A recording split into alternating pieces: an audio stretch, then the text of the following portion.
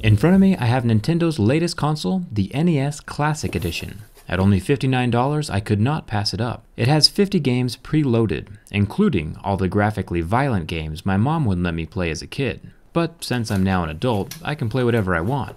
After my room is clean, of course. Opening up the box, we find a poster and probably some instructions. Here is the controller. The red buttons and direction pad are made of hard plastic, but the center, start and reset buttons are made of grippy rubber.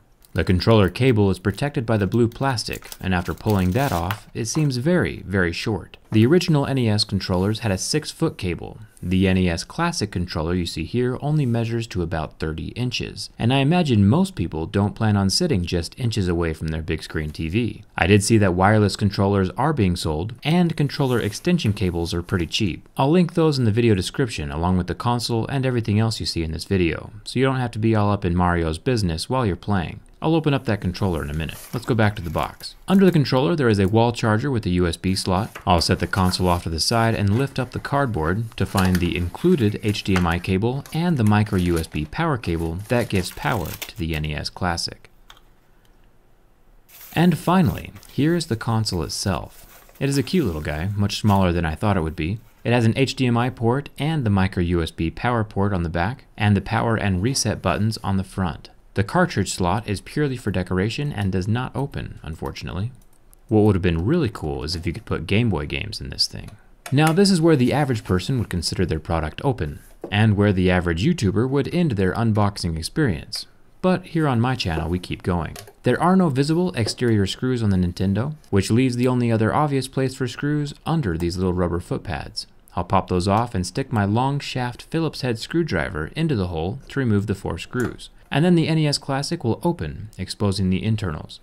It's pretty simple on the inside, a lot less complicated than the original NES that I opened up a few years ago on my channel. I'll link that video at the end of this one. Then we can see five more screws holding down the main board to the plastic frame.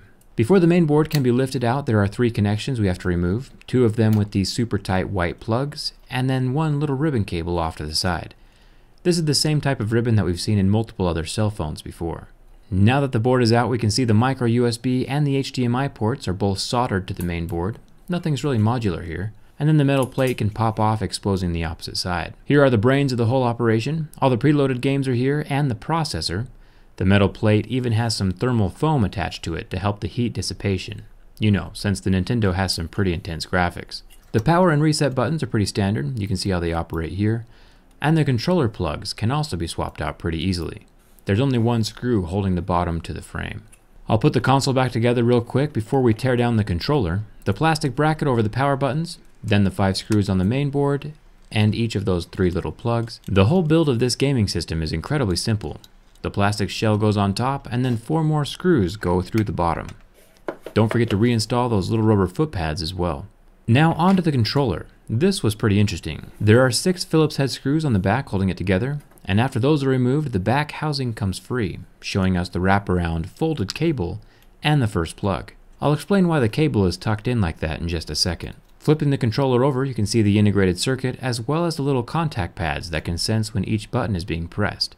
Believe it or not, this controller is more complicated than the original controller. I'll link the teardown of the original controller that I did about 3 years ago at the end of this video. The four-sided thumb pad is hard plastic on the top and then rubber underneath, with the same type of contact pads that the rest of the buttons have. Then the plastic tops of the A and B buttons just slip out of their slots as well. I'll line up all the buttons with their holes and then slip the control board back into place over top of them. The reason that the cable is wound between all these little pegs is so that when the controller is pulled or dropped or thrown against the wall, all of the stress just ends up tugging at the cord of the cable and not any of the actual plugs or the more important internal components of the controller. It's a pretty smart design, since controllers are probably the most abused pieces of any console. If Nintendo can get their inventory in order and make enough of these consoles for everyone who wants one, this is going to be one of the most popular Christmas presents of the year. The only flaw I see is the short controller cables. I will link this console and the controllers in the video description, so you can check out the current pricing if you're interested. Let me know what your favorite Nintendo game was down in the comments. If you enjoyed watching this teardown, make sure to check out the original system that I took apart a few years ago. And as always, bonus points for following me on Instagram and Twitter. You'll know what videos are going live before they are even posted to YouTube. Thanks for watching. I'll see you around.